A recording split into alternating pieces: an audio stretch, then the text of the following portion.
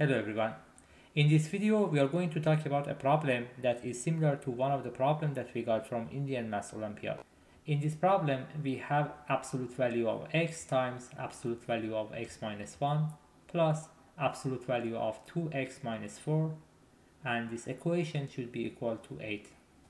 We want to solve this equation for all possible integer values for x. Before moving forward to talk about the solution, make sure that you pause the video to think about the problem.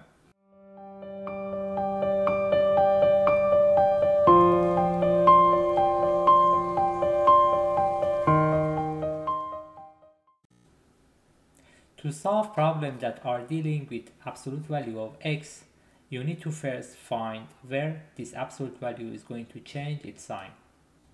Here we have three expressions that are dealing with absolute values we have absolute value of x, we have absolute value of x minus 1, and we have absolute value of 2x minus 4. For each expression, we need to understand when the absolute value of that expression is going to be the expression itself and when the absolute value of the expression is going to be negative of that expression. To do that, we need to find the roots of each expression. For x, we have 0 for the root. For x minus 1, the root is going to be at x is equal to 1. And for 2x minus 4, the root is going to be at x is equal to 2. Based on the root values that we have for these expressions, we are going to divide the integer numbers into four parts. The four parts that we have are going to be x less than 0, x between 0 and 1, x between 1 and 2, and finally x greater than 2. So we have four regions and for each region we are going to determine what value we are going to have for each absolute value. Absolute value of x is going to be negative x for region 1 and positive x for other regions.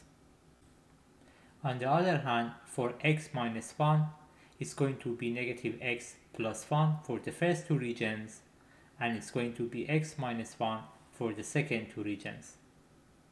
For 2x minus 4, we are going to have minus 2x plus 4 for the absolute value of 2x minus 4 in the first three regions and then 2x minus 4 for the last region. By now we know what we are going to have for each expression and for each region. Now we are going to simplify it.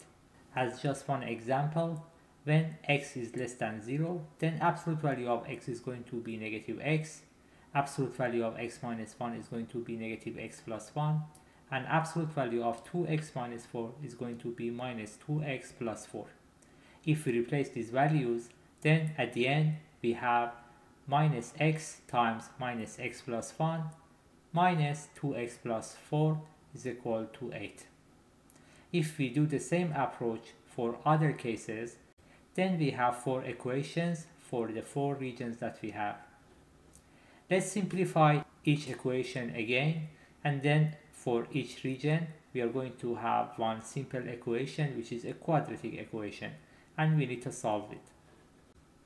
If we solve each equation then we will have some answers. First of all we need to remove the answers that are not going to be integer because we only care about integer values in this problem. When x is less than 0, then the expression that we have is x squared minus 3x minus 4 is equal to 0. If we solve this, there are two possible cases for x. x can be 4 or x can be negative 1. Remember, the original condition that we started with was x is a negative number. And now we are finding two values for x x is equal to 4 is not a negative number so we don't accept that. The only x values that can be acceptable for this region is x is equal to negative 1 for the third region we cannot find any x values in that region. For the last region we found two possible choices 3 or negative 4 negative 4 is not acceptable again and the only answer that we can accept is 3 so overall we have two choices for x. x can be 3 or minus 1. and these are our answers. To wrap up, let's summarize what we've done to solve this problem.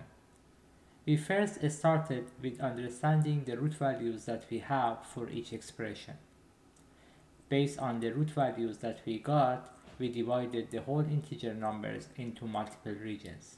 And then for each region, we remove the absolute sign by using the expression itself or negative of that expression.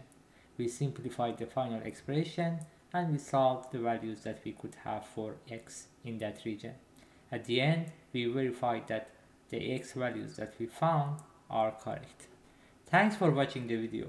If you would like to see more puzzles and math involved activities, please subscribe to the channel.